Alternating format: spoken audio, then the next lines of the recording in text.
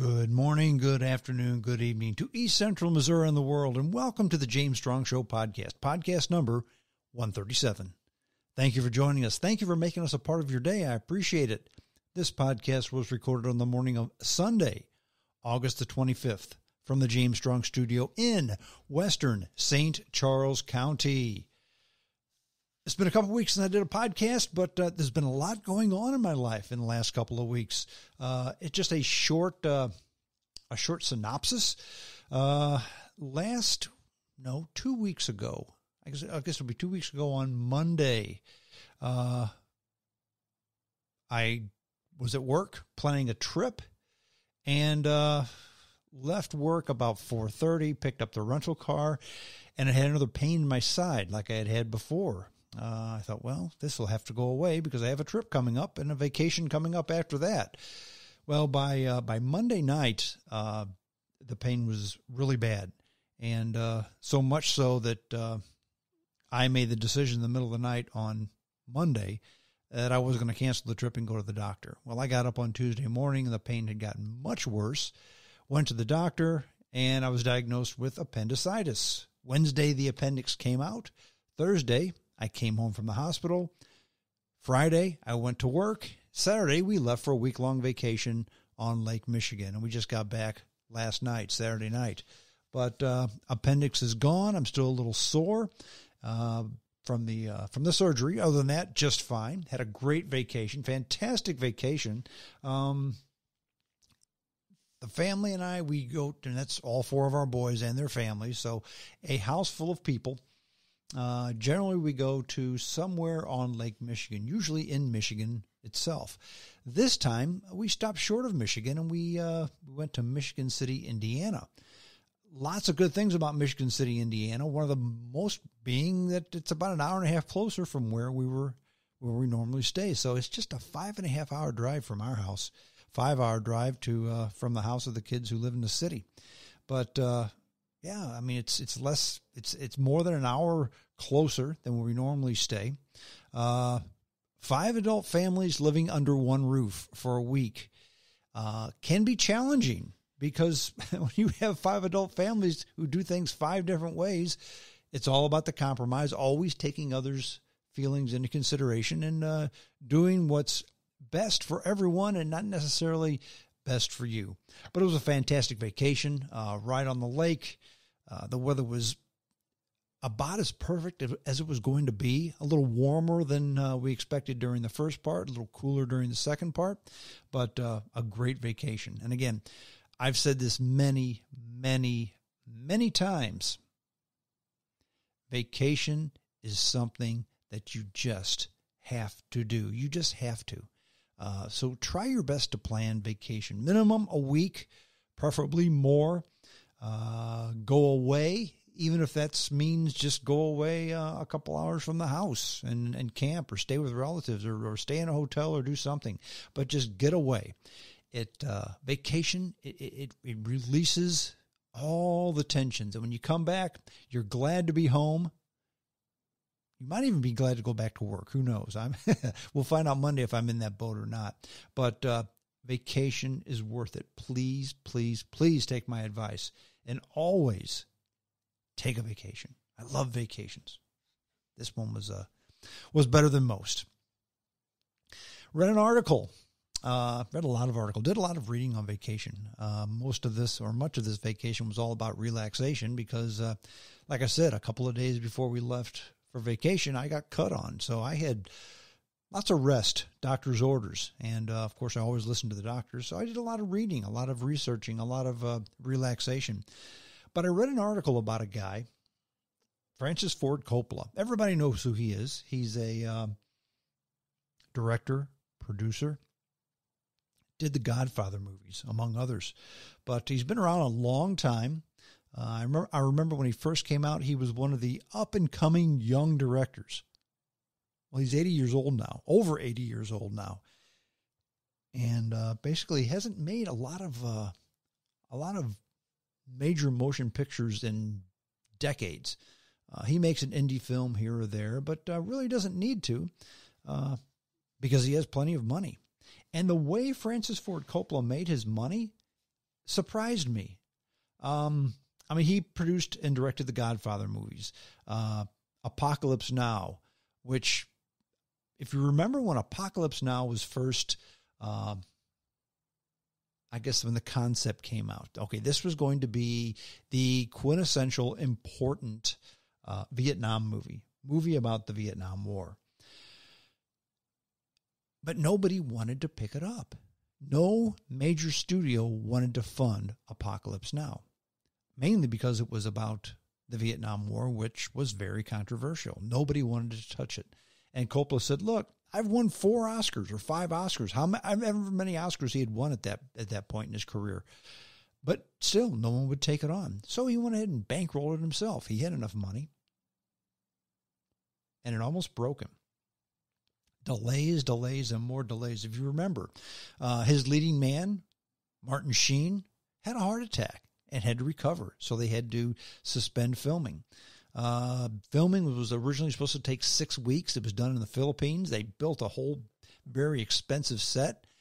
And then a typhoon came and destroyed it all. So they had to rebuild it again. What should have been six weeks of filming ended up being 18 months of filming. That film lost a ton of money and it was Coppola's money that it lost. But the silver lining to the dark cloud was that Coppola owns the rights, and he's reissued that movie once already. Uh, he's going to reissue it again with another cut, a redo type cut, and um, so he ended up making money in the end on that movie. Uh, but that's not why Coppola has so much money the Coppola name may or may not mean something else to you. If you're a wine connoisseur, uh, Coppola wines are good. They're good wines. They're a uh, Napa area wine uh, grape, and he actually Francis Ford Coppola and his family bought part of the old Inglenook winery. Okay, and he's made all of his money on wine. Now here's the Here's the interesting thing about that story and I, that I, that I read that I really learned something. And, and you learn by reading, okay? Just because you're not in school anymore doesn't mean your, your education is finished. Once upon a time, Ingle, Inglenook wine was cheap jug wine. Okay, you want the cheapest wine, the stuff that sits on the bottom, stuff that's going to go ahead and and uh, a lot of people can drink off for just a little bit of money.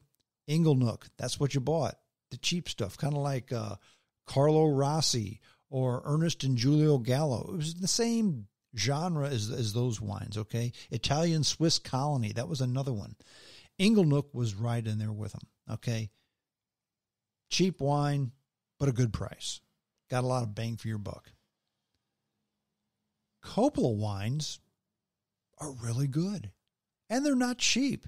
They're not expensive. You can get a Coppola wine for anywhere from uh, like nine to fifteen dollars a bottle. The reserve more, but for the most part, nine to fifteen dollars a bottle gives you a good Coppola wine. Uh, he has a good Meritage that I particularly like, a uh, claret type wine with uh, a mixture of several different reds. I've had his uh, Cabernet. They're good wines. They are very good wines, but they're from the same vineyards that grew grapes for Inglenook. So my question is, what was the difference? Well, it was one of two things, or maybe a combination of both. Winemaking has changed from the 70s to now, when Inglenook was the uh, the cheap wine of choice, one of the cheap wines of choice. So winemaking itself has really changed a whole lot. Kind of like um, if you if you eat a, uh, a, a pie that your mom made, uh, cooking it over a campfire versus cooking it over a uh, in, a in, a, modern stove in a, in a modern kitchen. Modern kitchen is going to produce the better pie because you have better control over everything. So it could be that they're just making better wines now with the same grapes because of different techniques. Or maybe it's just marketing. I don't know. Or maybe a combination of both. Maybe the grapes are no better. The process is much better, but Coppola versus Inglenook, they got away from the name. I don't know. But bottom line is that's where Coppola made his money by buying a vineyard that used to be owned by a cheap jug wine company and turning it into something that's very drinkable. So hats off to Francis Ford Coppola, a true Renaissance man. My essay today has to do with Facebook hate and lies. And you think to yourself, what do you mean Facebook hate and lies? Well, there's all kinds of lies on Facebook, all kinds of hate on Facebook. And I experienced much of that on this uh, on this trip. And uh, because in the morning while drinking coffee, I would go ahead and search social media, look at stories, and I'd post stuff online. And I would have discussions with individuals. Okay. And sometimes it's a discussion, which I enjoy. Sometimes it's an argument, which I can enjoy if it's the right individual. Or sometimes it's just a hate strewn diatribe by somebody who obviously wasn't doing much thinking. That I don't enjoy. And I tend to distance myself from those types of one sided conversations. Um, but Facebook hate and lies. On Facebook and on all social media, you basically have the freedom to say what you want. Okay? Kind of, until they decide that you can't say it anymore, which is what they do on Twitter a lot. Not my opinion. Uh, it's a fact. And I heard it from the horse's mouth. That would be Jack Dorsey, the guy who runs Twitter. Okay? Facebook's not quite so bad, in my opinion. But you always have the freedom to say what you want but the freedom to say what you want will define you. So be careful. Now, is social media a flawed vehicle? Of course it is. But it's what we use today. I mean, the dead pecker bench in the town square was what they used to use. It was a flawed vehicle. Okay. People didn't listen to one another. Well, maybe they listened, but they had bad hearing, so they couldn't hear it. So they they uh, they heard something that wasn't said. But all types of communication are flawed, and social media is certainly a flawed vehicle. But it's what we use today. It's why I use it. Okay, because you can get the word out to a lot of people. Now it will get better. It will get better. If it doesn't get better, it will yield to another vehicle. Remember MySpace? Of course you don't. Well, maybe you do, but nobody uses it anymore because MySpace didn't improve. It didn't evolve. It didn't change with the times. Now, I enjoy lots of meaningful, thoughtful discussion, primarily with people I know well and people that I don't know very well at all, okay? And but it's through these discussions that I've furthered my association with some and dismissed the thoughts of others. Now, rarely, if ever, will you see me piling on to a topic that I wholeheartedly agree with. Rarely. Now, because ditto isn't a discussion. Okay? It's not a discussion. I will, if I see a person whom which whom with which I agree with and respect, I will back him up maybe with a little the like click. Or if, if people start jumping on him, I'll defend him, okay, or her. But just to say ditto, that's not a discussion, okay? Listening to an opposing viewpoint, considering it, then discussing it, exercises and educates the mind. Listening and considering is not the same as going with the crowd. I'm going to say that again. Listening and considering is not the same as going along with the crowd.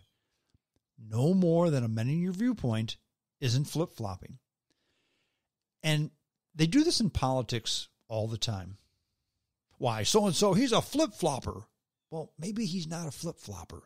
Maybe he thought one thing, somebody else brought up something that he didn't consider, and he thought, wow, I've never thought of it that way. Maybe you're right. Maybe I was wrong.